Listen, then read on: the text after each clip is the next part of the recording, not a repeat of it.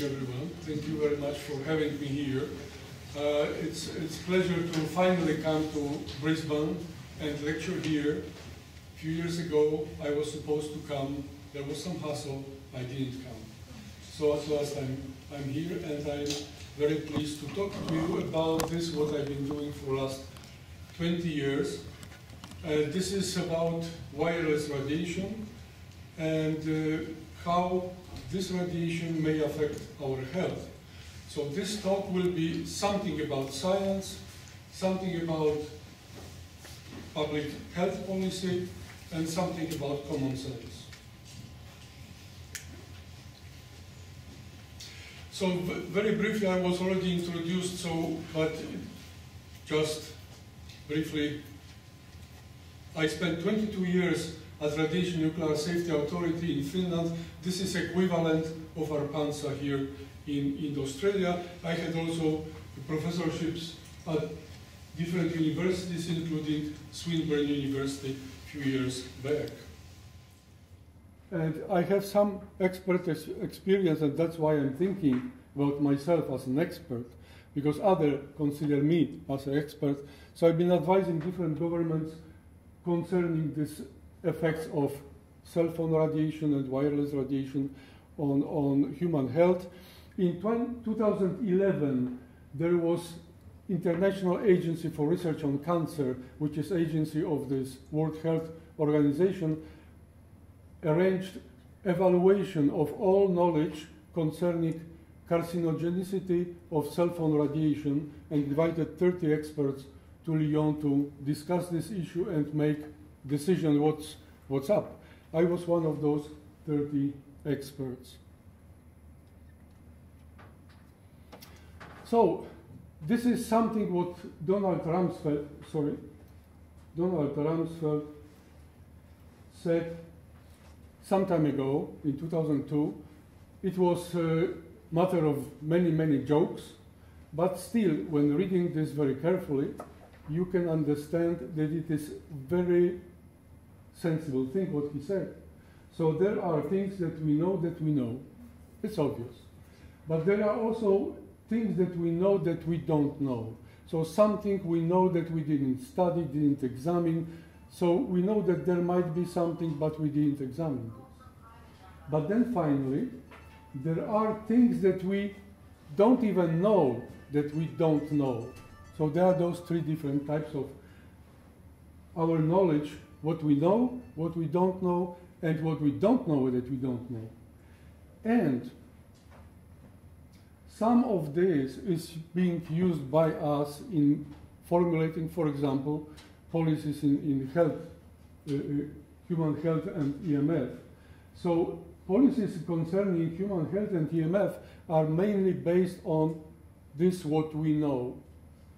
There are issues that we don't know, and we know that those things we didn't study, but we avoid them. We don't use them for setting health policies, even though that we know that we didn't study certain topics, and therefore it is difficult to make final decision. But still, we don't use this, these uh, uh, issues. And of course, anything that could lead to implementation of any kind of precautionary approach, and this is part of this what we don't know, is, is considered as scaremongering.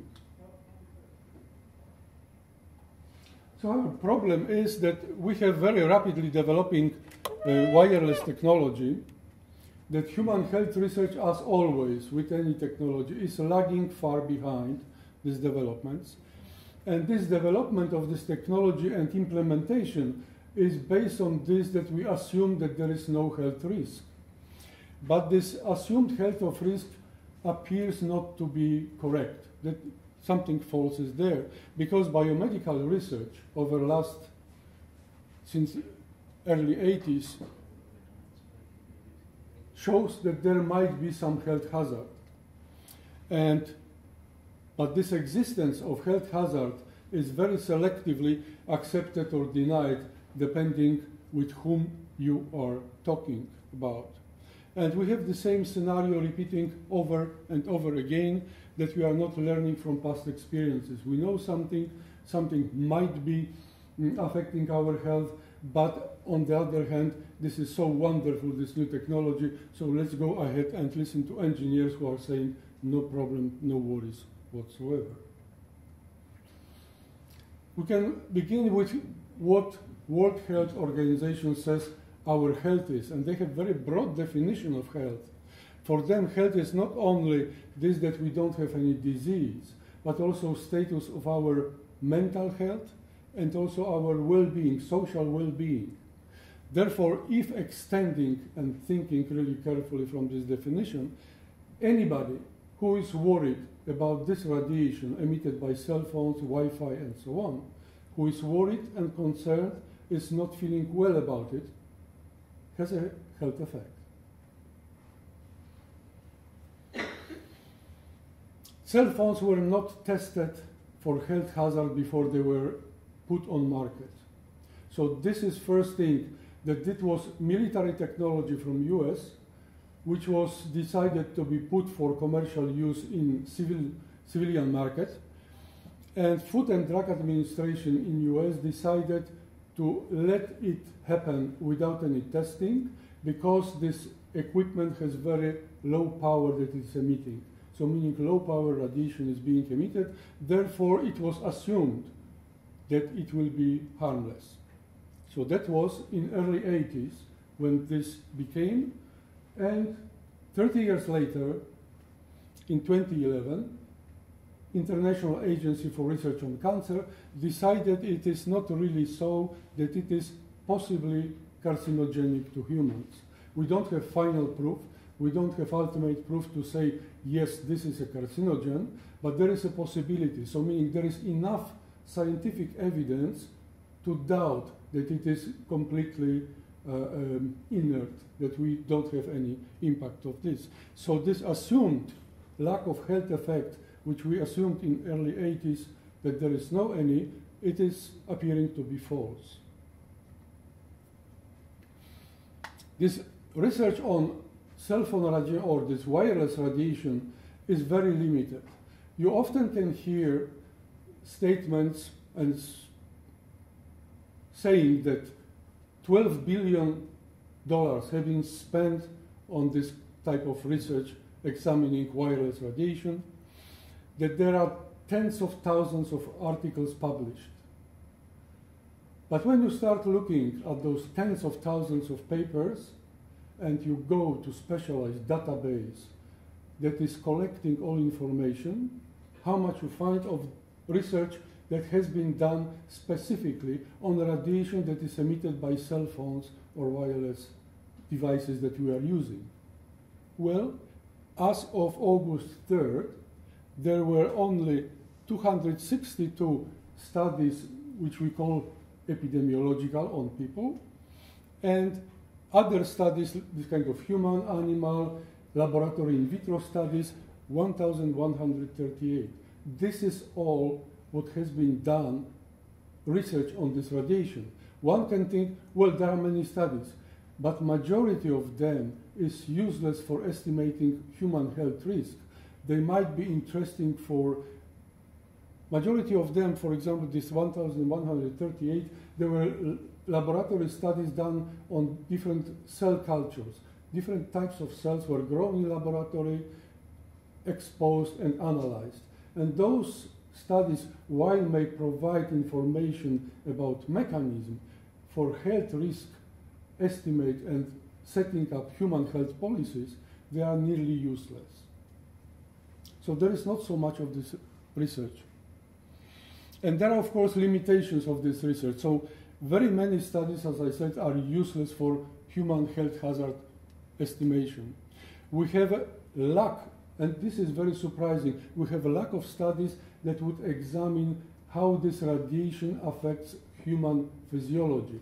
That we take people, expose them to this low-level radiation, take samples from people, blood, saliva, urine, whatever you can sample without harming person, what can you do ethically, and analyze it before exposure, after exposure, what kind of changes are happening. We don't have such studies. If you think really carefully and you read the, this database, this many fingers is more than those studies that have been done really on humans. All our information is based either on epidemiology, which is very indirect information, or some animal studies or in vitro studies. Then we have a lack of studies on chronic exposure.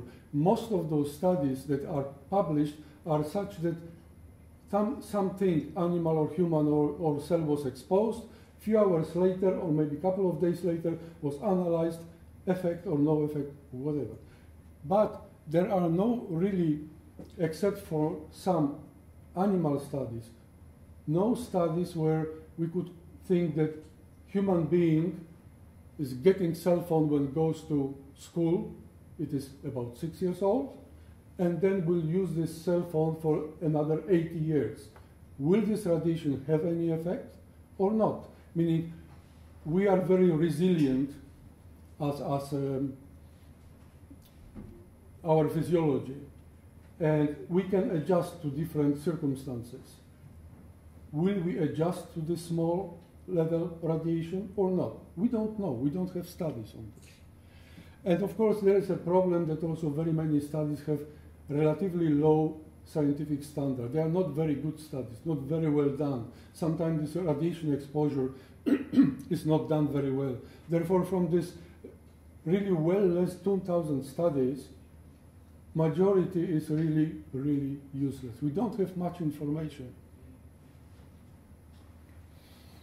Then, of course, every now and then one can ask, do we have consensus that something is happening or not, there is no any problem?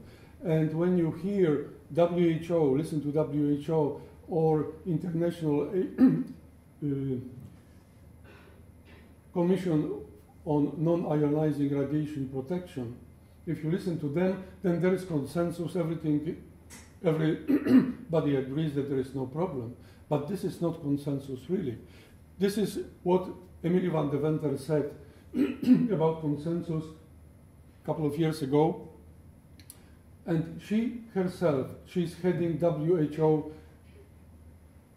um, project that is responsible for uh, spreading information on health risks from cell phone radiation.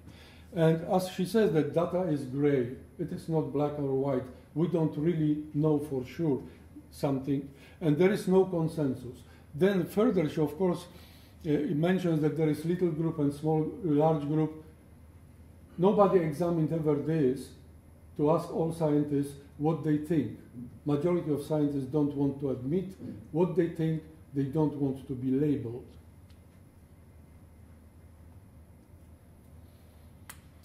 And we have a problem with evaluation of science we have different types of groups of scientists who are evaluating science for different purposes, for governments, for WHO, for different organizations. And there is a one major problem. If you collect team of scientists, but they have the same opinion, they think that this is having effect or having no effect, then within this kind of close group of guys or, or scientists, ladies and gentlemen, who have the same opinion, who will be this devil's advocate and who will fight for this opposing view? Then, when they agree on something, well, no, okay, we can discuss this, but well, we agree on this that there is no any effect. So those discussions are sort of pretending to evaluate everything without any bias. They have scientific bias because they all think that there is effect or there is no effect. They are not, they are not group, not good evaluations. They are biased. And for example, there are those groups like, sorry, uh, uh, like International Commission on Non-Ionizing Radiation Protection, or saying this is a commission from, from European Union, or, or IEEE from, from US, they think that there is no effect. They are, but those when you look at those people who are members of those committees, they are known for this, that they think that there is no effect. But then you have another group that are saying that yes, certainly there is effect, but if you look at composition of those different groups, there also, you see, yep, there are scientists who have the same opinion that there is some effect. So those are really biased evaluation. There was exception, and I was happy to be part of it, in 2011 at IARC. Because scientists who were collected by IARC, I don't know for what reason, I don't know how they made this, their selection, but it was really mix of those who think, yes, there is effect, no, there is no effect, and some of those who are ambivalent, yeah, maybe yes, maybe not. But those were real discussions, long discussions and fighting for it. And what happened at the end, that out of these 30 scientists, 27 voted it is possible carcinogen, even though the split between those who think that this is uh, causing some effect versus not causing, majority was who a priori, before the meeting, thought that there is no any effect. So we have this problem, problem of bias in evaluation of science, and then we are being fed information from one side or another, and they are saying this is consensus, this is no consensus, but this evaluation is really biased.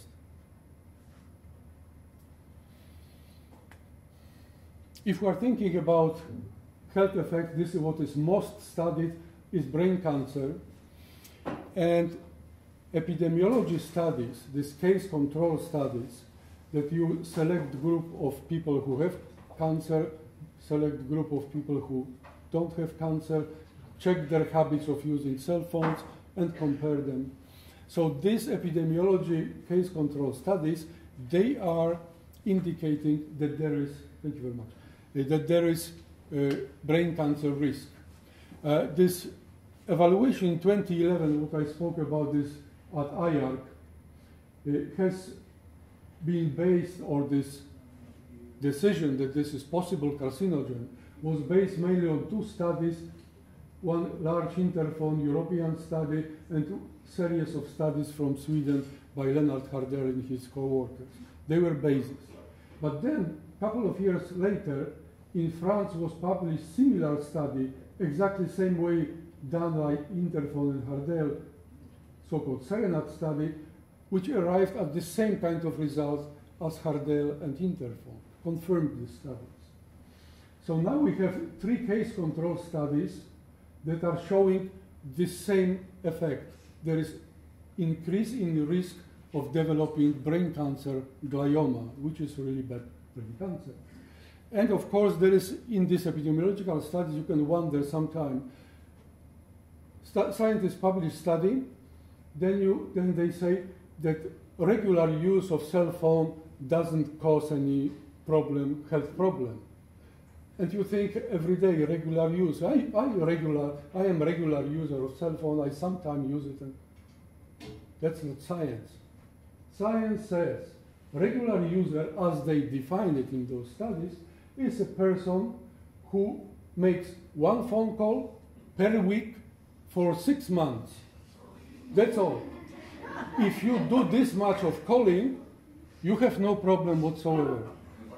By this definition, you can be a regular smoker, smoke this much cigarettes as you here, no, no lung cancer at all. So this is this kind of ridiculous definitions. What they are, they are trying to define some things but end up with kind of ridiculous, ridiculous definition. But those who are getting brain risk, increased risk of brain cancer are so-called avid users. And those avid users were then, that was 20 something years ago, defined. They are persons who are using cell phone for half an hour every day for 10 years or longer. So that was a long time ago, half an hour per day was considered a very long time. Now many people use much, much longer. But when somebody who has been this kind of avid user, in these studies was Interphone was saying that there is 40% increase in developing brain cancer. Hardell studies were showing 170%, and CERENAT studies said that there is 100% increase in developing, uh, increase in the risk of developing brain cancer.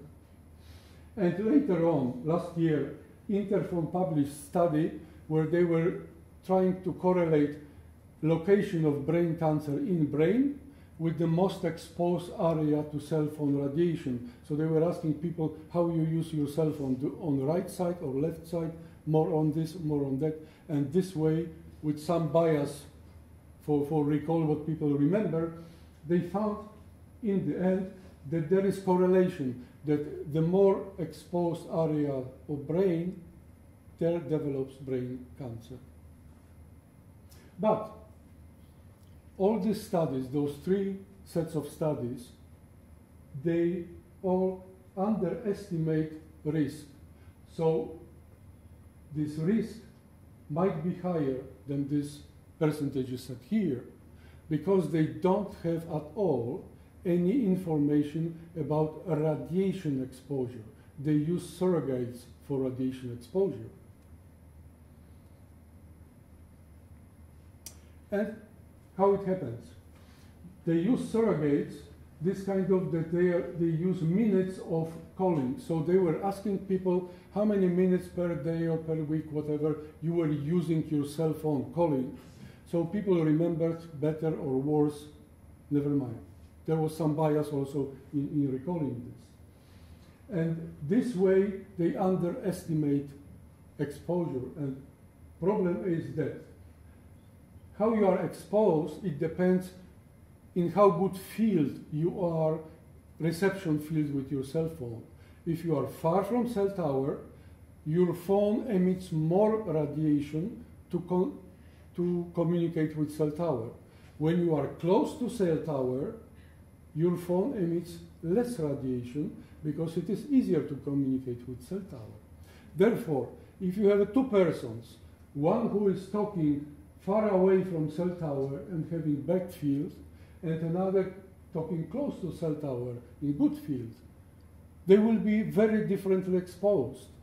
One will be, this one person will be exposed very much, this will be very exposed very little, because they phone emits less radiation.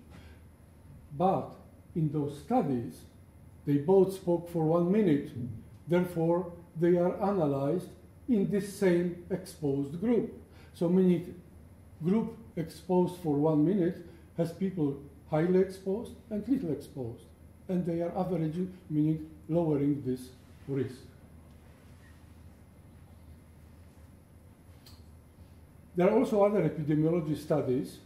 There, for example, there is a study from US in 2012 published that is showing, sorry, okay, wrong button trend data, how is increasing brain cancer in population in US, and they found that there is some correlation between how the small slow uh, increase as predicts interphone, so this 40% increase, but not, but not so much as Hardell, there is not this kind of very dramatic increase.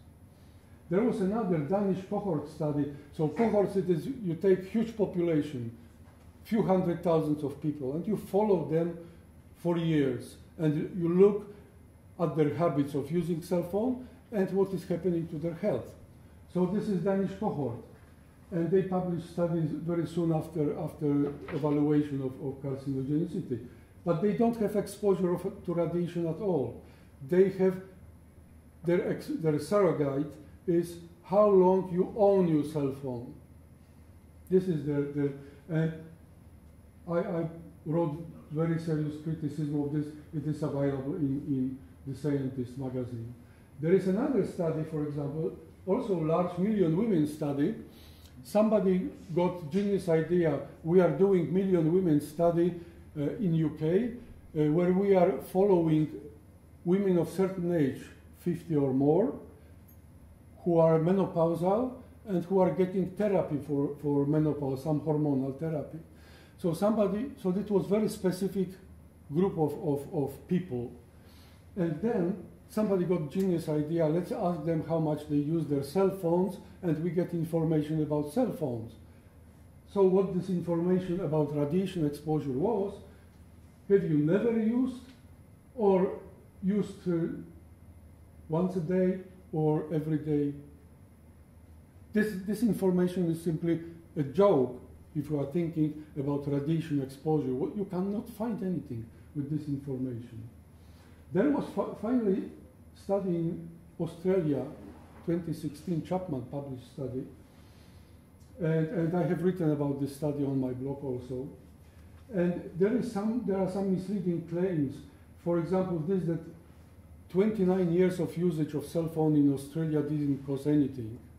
But there is not 29 years of usage, really avid use that many people used. At the beginning, this first 20 years, people were using very little and not everyone had this cell phone. Therefore, this claim of, of 30 years nearly of, of usage and there is no any effect seen in Australian population doesn't work well. But then they were trying to say, okay, but what should be seen if there is really risk?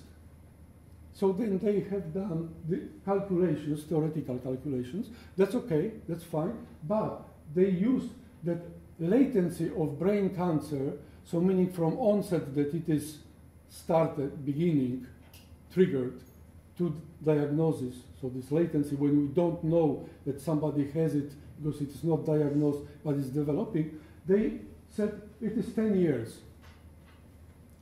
Might be, but usually in case of brain cancer, we are thinking that there are several tens of years, 30, 40, maybe 50 years of latency before it is manifesting. Therefore, this is sort of exaggeration. This is one number. I asked Chapman specifically, what would be looking your data when you use other latency periods, 20, 30, 40, 50 years? Will it be in, in this situation possible to see that some increase will be happening. He was not interested to recalculate his data.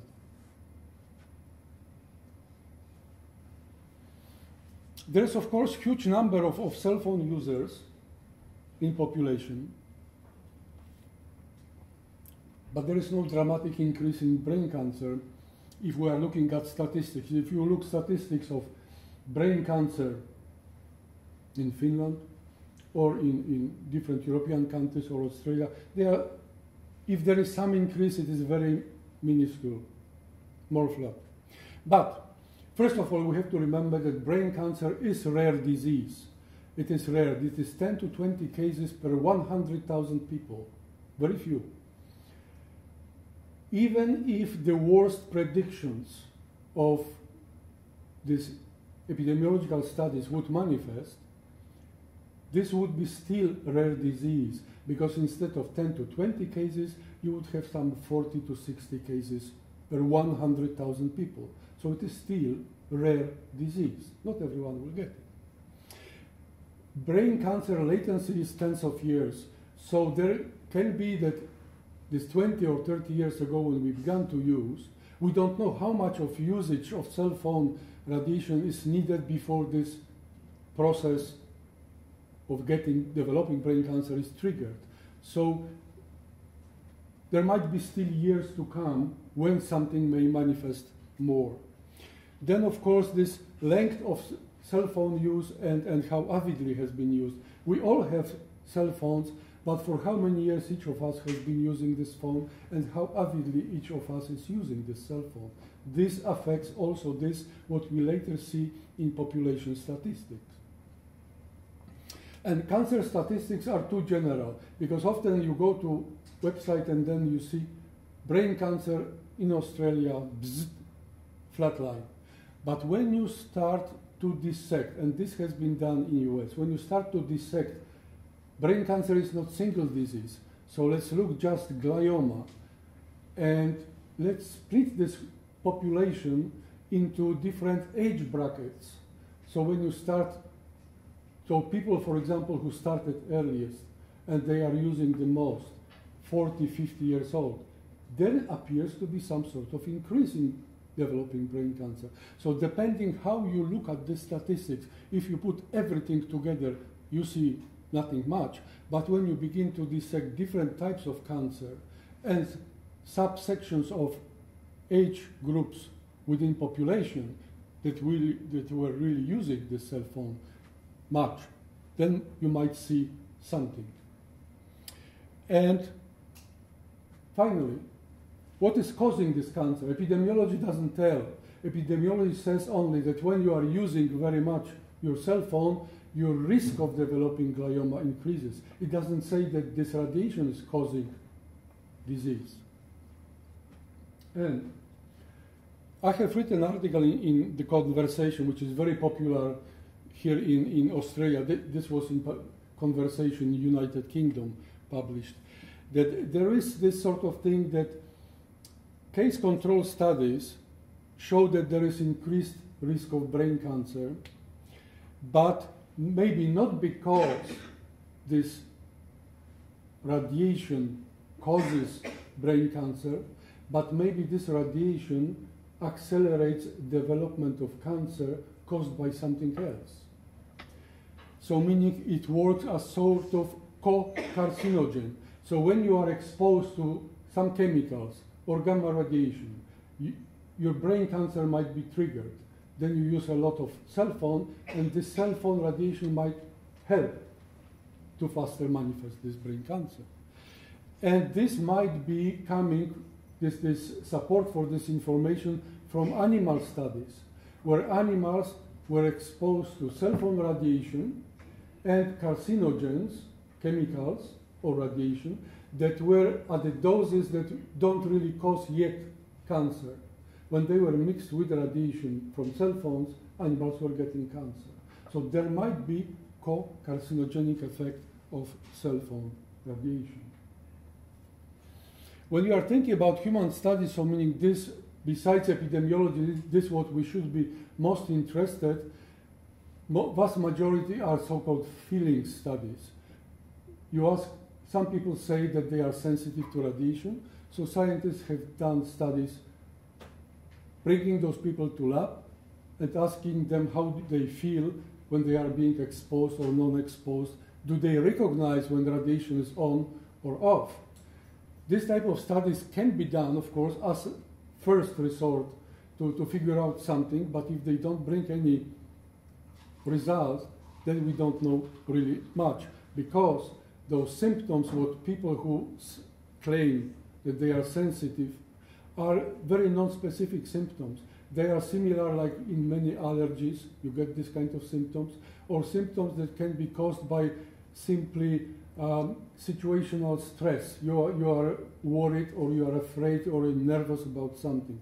You may get the same kind of symptoms. And therefore, person who has, who thinks that is sensitive to this radiation, when this person comes to lab and allows to be irradiated and participates in experiment, this person thinks in own mind that this is harmful that person is sacrificing for science and therefore is worried and may get symptoms then one should not and you, you cannot dissect between those symptoms caused by regular stress of experiment with these symptoms which would be eventually caused by, by exposure to, to radiation.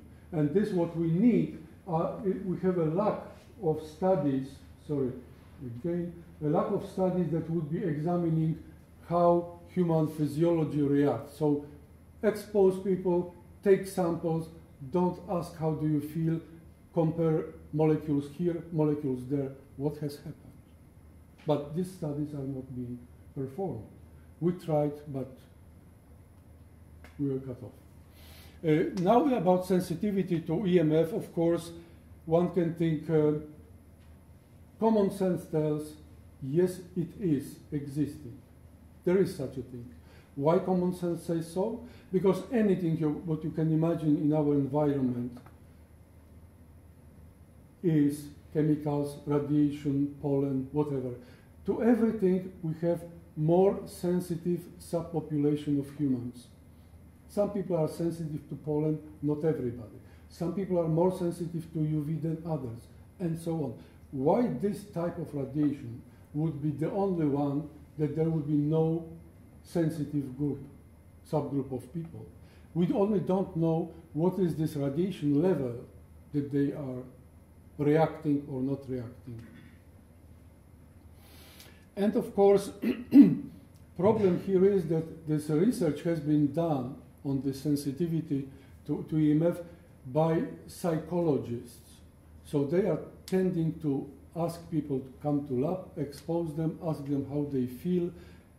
They are psychologists. They, they don't do physiology. How can you find out whether there is any physiological ailment by using only psychology methods? You cannot. And therefore, this is the problem. Of course, otherwise there is small sample sizes. Psychologists are used to this, that they are doing experiments on, on small group of people, 20, 30 persons, they invite and ask what is happening. This is very small sample. Then also, when they are inviting people to participate in studies, they say, we were asking sensitive people to come forward, participate. They couldn't perform correctly in experiments. We have proven that there is no such a thing. But starting point is they asked sensitive people to come, but they are self-diagnosed sensitive people. How many of those people are really EMF sensitive and how many are thinking that they are sensitive, but something else is causing their health problem? They don't know it. So therefore, if they invite, for example, 30 people, they don't know whether 29 are sensitive to this radiation or 29 are not sensitive and only one is. And then is coming out the result. Nobody knows. Apparently no, no effect. Then we have animal studies because of course not everything we can do on humans, but there is one problem. This is what we are usually doing with animal studies. We do toxicology and we expose animals to high overdose of agent that we are studying, chemical or radiation. This kind of overdose that human being will never be exposed in normal life. But we are looking if animal exposed to this amount of agent develops health problems, then we are thinking maybe humans are also in some sort of problem. We should look more closely. But this kind of classical toxicology is not possible because it is overdosing this radiation is overdosing microwaves. In extreme situation, you can make a joke, you could cook your animals because it is like microwave oven, warming up. Therefore, we cannot do experiments where we highly overdose this radiation because they would cause heating of animal and we don't see anything. Therefore, another thing is, another kind of toxicology where we expose animals for their whole lifetime, or even still when they are in mother's womb, we expose them to this radiation, but radiation levels that are similar to this what our cell phones are emitting, to this what we humans are exposed. In this situation, if animals are responding and there is some effect, we can think, all right, humans might be affected. But when there is no effect whatsoever, we don't know anything about humans because, however, mouse or rat is not exactly human. And therefore, it might be so that while mice and rats will not respond, human may respond. So this kind of lifetime exposures to low dose radiation similar to exposure of, of humans, if it's negative, no any effect observed, it doesn't tell us anything. It, but often it is used to, to say that we expose them for lifetime, nothing happens, so everything is fine, we people are safe. This is misleading or simply lie. But then there are those co-carcinogen studies that I mentioned earlier that some of them show effects. So meaning, but there were only half a dozen of these studies performed, very few. And therefore, this kind of co-carcinogen studies are needed because on one hand we are talking about cell phone radiation, which is very weak stimulus that maybe alone it is unable to do something, but if co-carcinogen studies in animals show some effects, so maybe it is co-carcinogen. But this type of research has not been done at all. Nothing, no studies, just those few animal studies. Then, of course, there is this talk about mechanism, how things could be happening in what this radiation is causing in cells, living cells. We can observe effects. This is just a sort of graph of different proteins that are involved in so-called stress response in cells. Not important right now, those green boxes.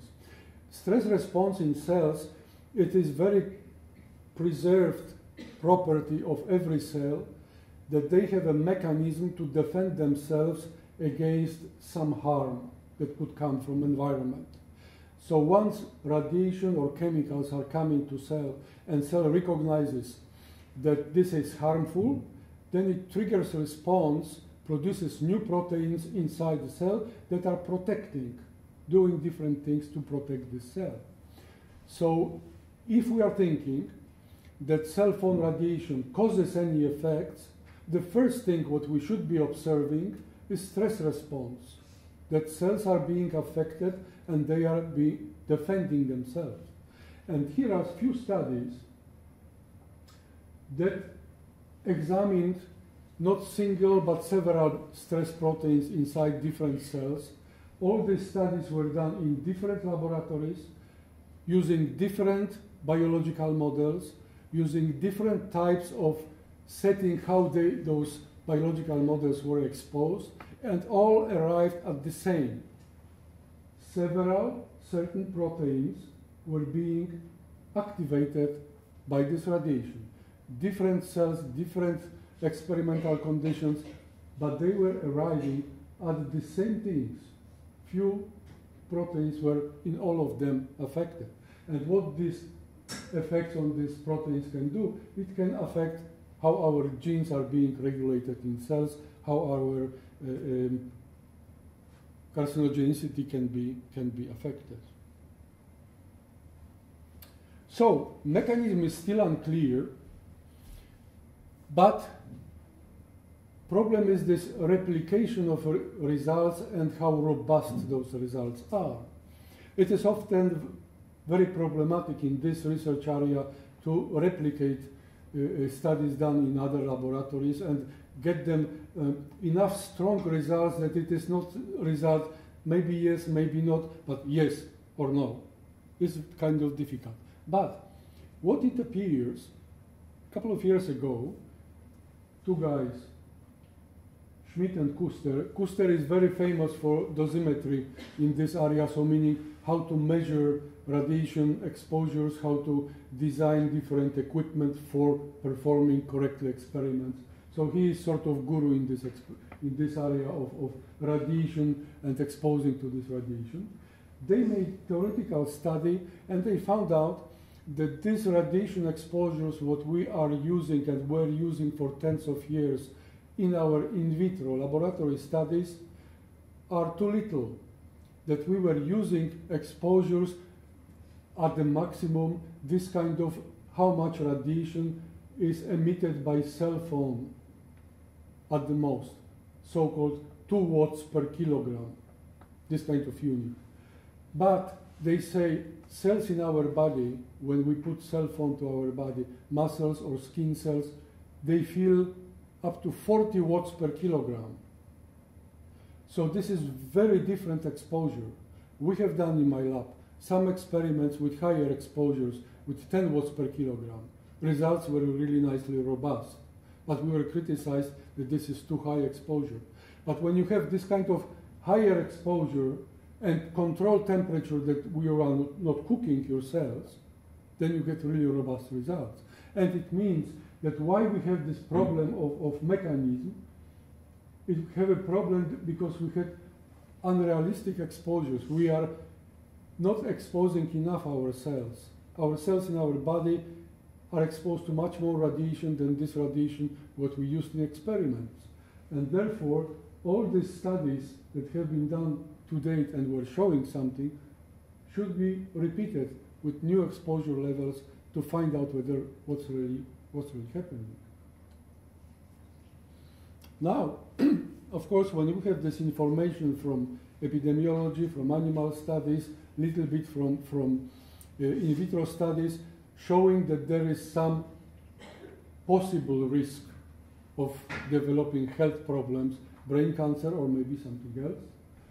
There is, of course, talk about some precautions, and here is about precautionary principles. This is this European Union document, fairly vague, few pages of text about what to do when we don't know what to do, how to take precautions.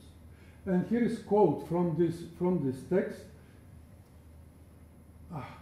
When when to what are conditions for invoking precautionary principle, and of course then it is when we have scientific information is insufficient, inconclusive, or uncertain, and when we have suspicions that there can be real health effect dangerous for people, and when we are thinking this way that this our protection is insufficient to, to really protect human population. So in this kind of cases, when we have those three different kinds of suspicious uh, uh, thoughts, we can invoke precautionary principle. And when we look, dissect all this, that information is insufficient, inconclusive, or uncertain, this is precisely why IARC classified cell phone radiation as a possible carcinogen. Nothing more, nothing less. Because information is insufficient, inconclusive, or uncertain. There is information indicating some, some effects, but, and so on. Then there are indications that the possible effects on human health might be potentially dangerous. Well, brain cancer, for example, is dangerous. So do we have the second case also correctly? And then we have this that whatever we do is inconsistent with the chosen level of protection. We have this chosen level of protection, namely whenever we, okay, there is a safety limit which says how much radiation can be emitted by cell phone. And this level of radiation should not cause us any health problems. This is safety limit. But epidemiological studies have been done in population of people like us who have cell phones, we purchase them in shop, and we are using them for years and years and years. Meaning those phones are in compliance with current safety limits. They fulfill them. But when you have this kind of so-called safe phone, which is in compliance with safety limits, when you use it avidly for 10 years, your risk of developing brain cancer increases. So logically it means that the safety limits that are being used in developing of this in this cell phone are insufficient to protect your health. Because when you use for a long period of time this so-called safe phone, you can increase your risk of developing glioma. So all these three conditions or preconditions for invoking precautionary principle are here. They are fu fulfilled. But there is, of course, a uh, lot of un un unwillingness to, to do it. And first of all, implementing precautionary principle doesn't mean stopping use cell phones or blocking it or whatever, going back in time. That's not this. It's not prevention. But there is very strong opposition, especially from telecom industry, because precautionary principle document contains several things like industry would need to prove that their product is safe. So it would be not this way like Food and Drug Administration gave exemption because there is low power emissions, but industry would need to prove that it is safe piece of equipment. They would need to do research or fund this research and independently and so on. So it would cost a lot of money. But of course also there would be possible to requ uh, require that make more efficient technology, technology that emits less radiation in order to get all this communication. And of course, there would be possible to limit this un completely uncontrolled spread of this Um, technology anywhere and everywhere if gadget is fulfilling safety limits set by International Commission for Non-Ionizing Radiation Protection, then it is safe. What is not necessarily so. And this kind of gadget can be installed anywhere and nobody cares. So those, when you live in some area, you open your, on your cell phone your Wi-Fi connection, very, very many Wi-Fi networks, many, many. In your living apartment building, very many. So, so this is something what is completely without any control because it is no problem, but not necessarily.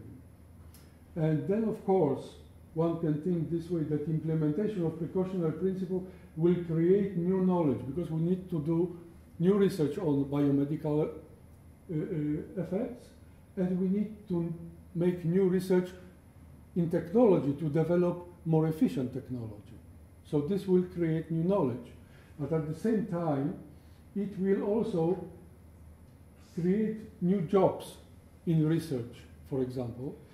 There will be shift of jobs from one area to another, but one company will lose because we'll have less jobs, but another company will gain. So there is not this kind of thing that suddenly jobs will ex uh, expire, finish. No, precautionary principle will not lead to this. It will be shift of these uh, uh, jobs between different industries. Then, of course, one thing is this uh, classification, what was done in 2011, which was saying that there is possible carcinogen, this cell phone radiation. I think right now, after 2011, several studies that have been done clearly help to uh, uh, think that this current evidence rather says it could be classified as 2A, as probable carcinogen in, in, with current knowledge. And here it is. These epidemiological studies, we have these three case control studies now, Interphone, Hardell, CERENAT, showing increasing uh, risk of developing brain cancer. We have Interphone study showing correlation of location of tumor in most exposed area of brain. We have animal studies, we have co-carcinogenicity studies, which were available in 2011. We have new co-carcinogenicity study in 2015, which has been uh, uh, published. And then finally is National Toxicology Program, which is most stringent way of doing toxicological experiments. Uh, they have shown that rats exposed for lifetime to cell phone radiation are developing glioma. And also, of course, this dosimetry information that all this what we were doing in vitro in laboratory, we were doing wrongly. We didn't use enough radiation to expose our cells. And that's why those results from in vitro are so ambiguous. So we have some, or let's say plenty of gaps in the research. Here just a few examples. So first of all, we need epidemiology with realistic radiation exposure data. This that we don't uh, uh, count minutes, but we have really how much radiation person got. And it is possible. There are cell phone apps that can be installed on cell phone and they will measure around the clock, year around, all radiation that you are exposed to, download it to cloud, and 10 years later, scientists can use it. There are. Then, of course, the search for sensitive subpopulations should be using, be done using biochemistry methods. Important thing is finding whether DNA is damaged by this radiation or not. There is a lot of talk about this damage of DNA, but we don't know, is it DNA damage? Or is it so that in our cells is continuously happening spontaneous DNA damage, and the cell phone radiation might be impairing processes of repairing this damage. So this what spontaneously gets damaged, it is being repaired in our cells. That's why we don't get cancer. But we don't know this. And what is most important, this DNA damage was observed in vitro in laboratories and also in some animal studies. Nobody has shown this kind of effect in humans, in living person. Exposed person, take a samples, even, for example, swab from mouth, and see whether DNA is damaged or not. Nobody has done so far. Then is, of course, one, oh, sorry, one important thing, where I'm going, yes, is examining whether human blood-brain barrier is being affected. This is one important thing. Examining co-carcinogenic, co-carcinogenic effects of cell phone radiation, as was mentioned earlier, and this what was mentioned earlier, this chronic effects, long term, long term. But then 5G is coming. 5G is nothing something completely so new, because 5G will incorporate 3 and 4G, which is already existing, and add on, add on top of it this what is with so-called microwave uh, uh, radiation will be added. So meaning this what, what we have this 1, 2, 3, 4, so meaning this 3 and 4G which is now, it will be incorporated into 5G. And there are some novelties which 5G technology will bring. Of course, this is why it is happening because there was a lot of empty spectrum, and this spectrum, what has been used so far, this electromagnetic spectrum was getting so full that it was not possible to add more. And also this empty spectrum, especially this close to, to 300 gigahertz, it has this property that it, you can transmit in very short time very much of information. So meaning you can download your movie in matter of seconds. So what people like, and it's ready. So this this uh, uh millimeter wave spectrum gives it. But the millimeter waves are very fussy. They don't go through walls of our buildings. They don't go through, through trees. You are in forest, they don't go through. If it is raining, rain is absorbing them you cannot communicate this way. So you have to figure out how to communicate. And there we are coming to small cells, meaning those cell towers, what we have now, they will be used, but we need small cells, tiny cell, to cell towers everywhere in order to communicate. Because, for example, here is cell tower in park, there are some trees, those cell phones will not get communication because trees will absorb it. So you need small cells to retransmit signal with some sort of zigzag to get to your phone. So this will be, this what people are concerned, some people are concerned that there will be plenty and plenty of this kind of small cell towers, gadgets on our walls, on lamps, wherever, just to help in communication. And then, of course, there will be so much of this communication that these old-fashioned cell towers will not be enough. So there will be this uh, so-called MIMO, still multiple input, multiple output. This kind of cell tower will not manage to handle all this communication, what will be needed. So we will need more tower and more massive towers in order to handle all this communication with those millions of small cells. So it will be this quite, quite dramatic change in this what we will see and what will be happening in our environment. And of course, what is the aim? This is here from Australia, that we will get this, this communi communities and everything, whatever we, we are doing, will be connected to internet and communicate with each other. So your car will be connected to internet, your dishwasher will be connected to internet, your electric toothbrush will be connected to internet. Everything will be there. And everything will be communicating with each other during this, using this 3G, 4G, and small cells from 5G.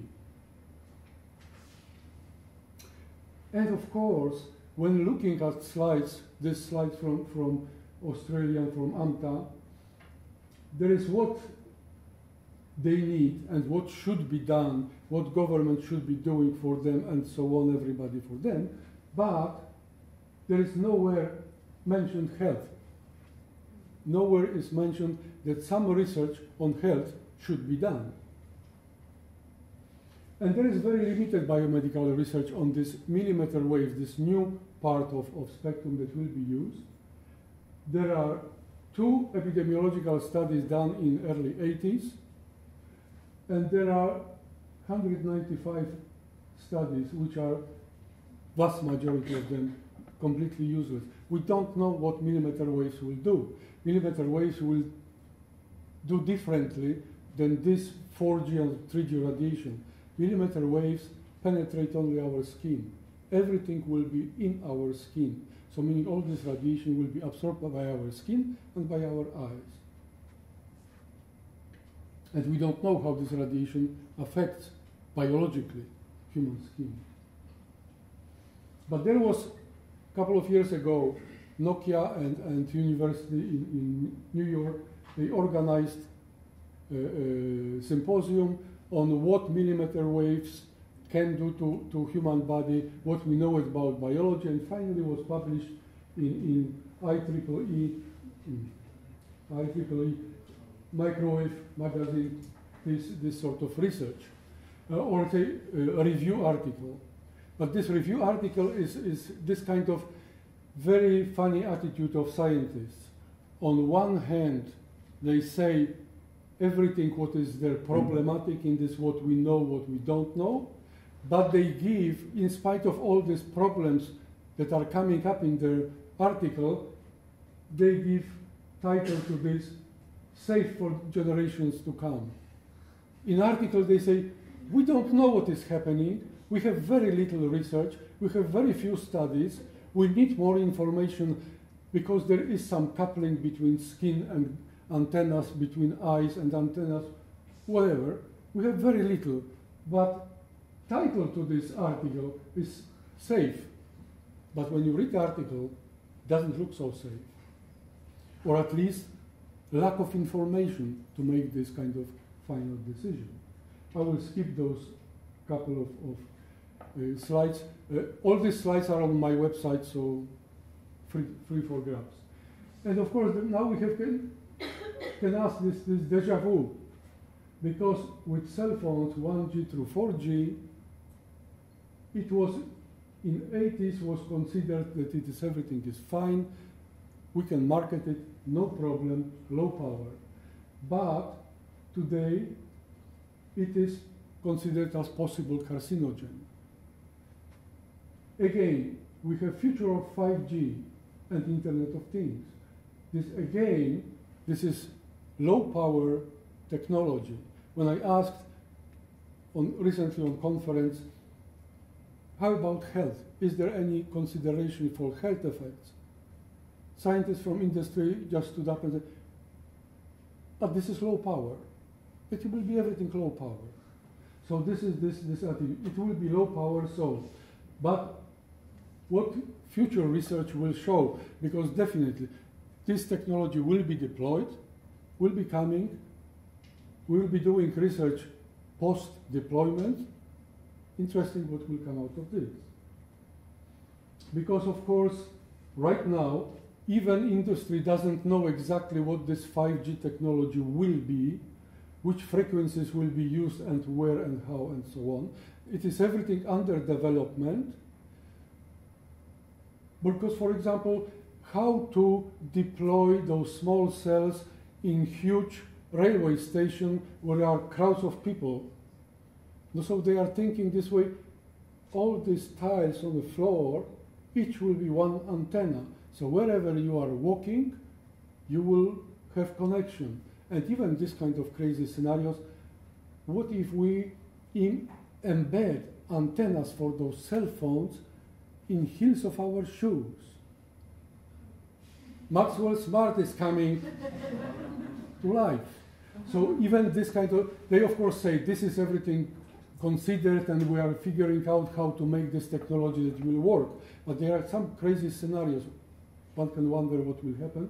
But never mind what will happen, as they say, Ultra 5, 5G service in five years will be here.